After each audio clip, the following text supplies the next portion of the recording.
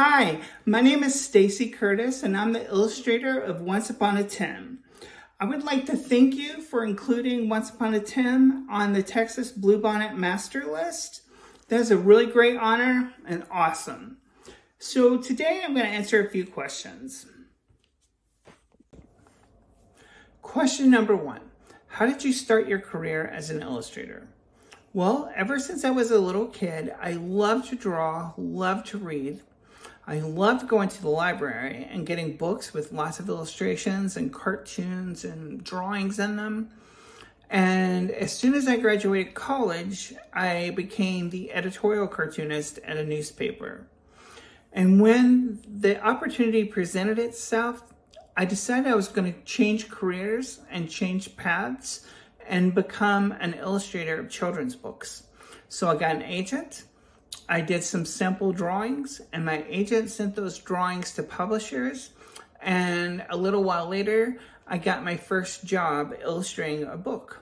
And from there, I've illustrated about 40 books for children so far.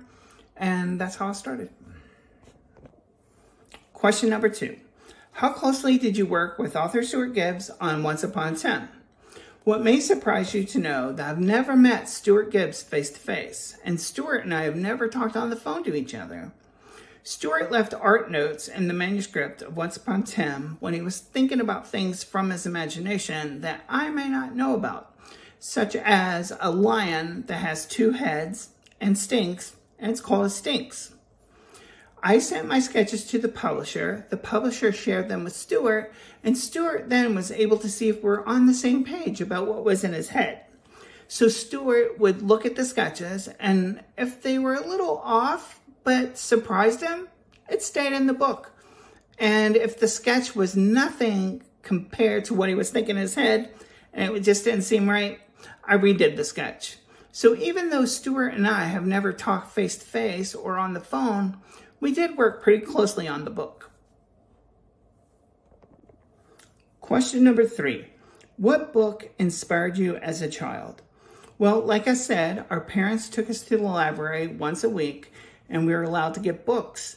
So one of the books that stuck with me forever is this book called Harry the Dirty Dog by Gene Zion and illustrated by Margaret Bloy Graham.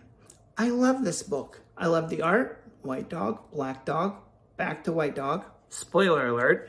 And I also love the story. Love this book. One of the series that I liked when I was a kid, the Fudge series by Judy Blume. Love this book. I love how funny the story is. It really inspired me to see that children's books could be funny, they could be entertaining, and have a great story. Also, one of the books that really inspired me as a child Charlotte's Web, E.B. White, illustrated by Garth Williams. Love this book, love the story, and I really, really, really love the illustrations. Great book. Also, my parents took us to used bookstores, and at the used bookstores, I would save my allowance so I could buy these little Peanuts books. Paperbacks, pretty cheap, Loved them. I would read them from front to back. I've read this book a million times. I have lots and lots of these books.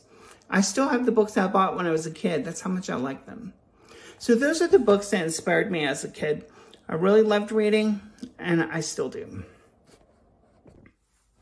Question number four. What is the best reaction you've ever received for any of your illustrations? Well, I've won some awards for my book illustrations, such as this National Cartoonist Society Award. I've also traded art with other illustrators, and I love that. And I also love it when somebody buys some of my art. They like it so much that they want to buy it.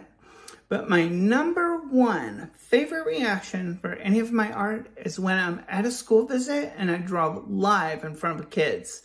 I absolutely love it. Kids get quiet they are so amazed at the, my ability to draw.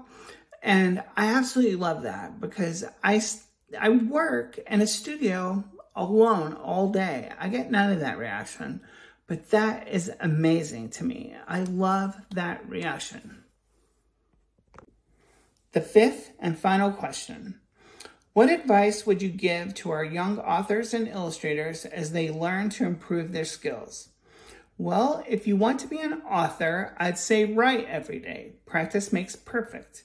And if you want to be an illustrator, I suggest carrying a sketchbook with you. Draw in it every day.